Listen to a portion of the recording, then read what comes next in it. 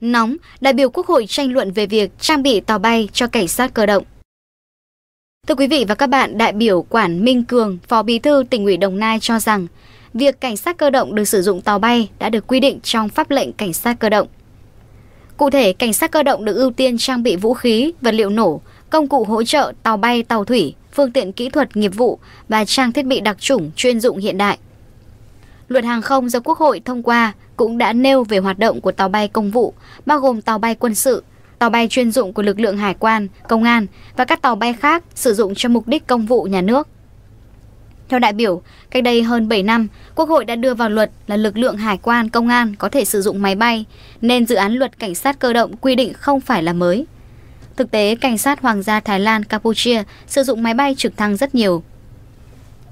Vừa qua, Thủ tướng và ngành công an đã thành lập trung đoàn không quân trong lực lượng cảnh sát cơ động. Do đó vấn đề không phải cảnh sát cơ động được sử dụng máy bay hay không, mà là nếu nhiệm vụ yêu cầu phải sử dụng máy bay thì cảnh sát cơ động phải sử dụng.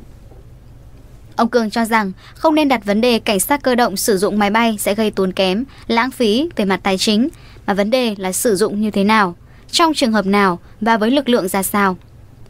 Ngoài ra, khi lực lượng này sử dụng máy bay, cần quy định rõ việc huấn luyện, quy chế phối hợp với lực lượng quân đội, vấn đề quản lý không lưu, đường bay.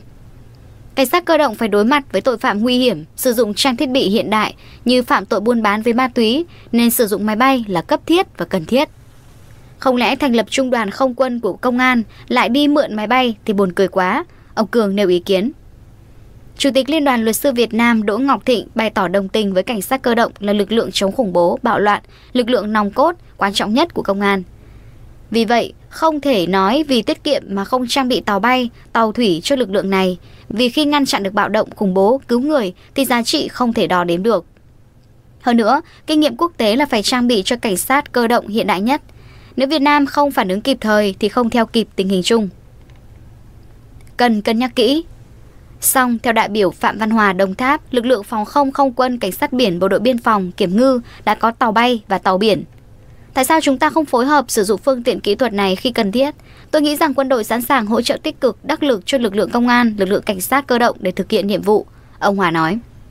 Đại biểu tỉnh Đồng Tháp băn khoăn rằng nếu chuẩn bị tàu bay, tàu biển cho lực lượng cảnh sát cơ động thì phải trang bị kỹ thuật, sân bay riêng, trong khi điều kiện đất nước đang rất khó khăn.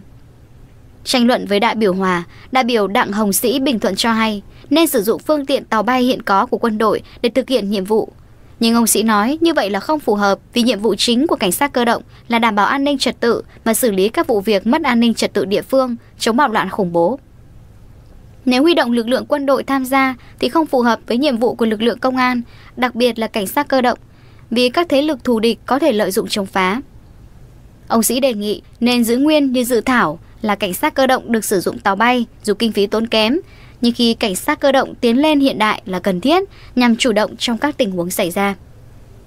Đại biểu Phạm Đức Thắng khẳng định cần sử dụng máy bay trong một số tình huống đặc biệt. Lực lượng có thể phối hợp với quân đội, các lực lượng khác khi thực hiện nhiệm vụ là phù hợp. Tuy nhiên, vấn đề là có cần trang bị máy bay riêng hay không là vấn đề khác nhau. Ông Phạm Đức Thắng mong Quốc hội cân nhắc kỹ, có thể lấy ý kiến đại biểu trước khi quyết định vì nó tác động lớn, tiêu tốn nhiều nguồn lực quốc gia. Không phải tiết kiệm là không trang bị mà có phương tiện tốt rồi thì phát huy công năng nhiều hơn nữa, đại biểu thắng nói. Phát biểu giải trình làm rõ một số vấn đề, Bộ trưởng Bộ Công an Tô Lâm cho hay, về nhiệm vụ của cảnh sát cơ động để đảm bảo tính ổn định và nâng cao hiệu quả, hiệu lực thực thi, dự thảo luật xác định 7 nhóm nhiệm vụ của cảnh sát cơ động. Trong đó bao gồm nhiệm vụ chủ trì và nhiệm vụ phối hợp để đảm bảo các cơ sở pháp lý cho việc điều động, sử dụng lực lượng cảnh sát cơ động. Bộ trưởng Công an lấy ví dụ những trường hợp của tội phạm lợi dụng các phương tiện này để có thể mang chất nổ, chất hóa học, sinh học phá hoại và gây nguy hại cho các mục tiêu mà lực lượng trực tiếp bảo vệ, nhưng do không được quyền ngăn chặn mà chờ lực lượng khác đến xử lý sẽ gây hậu quả nhiều mặt, nhất là các mục tiêu quan trọng về chính trị ngoại giao. Do vậy, để đảm bảo cơ sở pháp lý cho cảnh sát cơ động trong việc chủ động ngăn ngừa, vô hiệu hóa tàu bay không người lái và các phương tiện bay siêu nhẹ trong trường hợp các phương tiện này trực tiếp tấn công, xâm phạm hoặc đe dọa tấn công, xâm phạm các mục tiêu cần bảo đảm tuyệt đối an toàn các mục tiêu được giao vũ trang canh gác bảo vệ. Cần quy định thẩm quyền này cho cảnh sát cơ động tại dự thảo luật.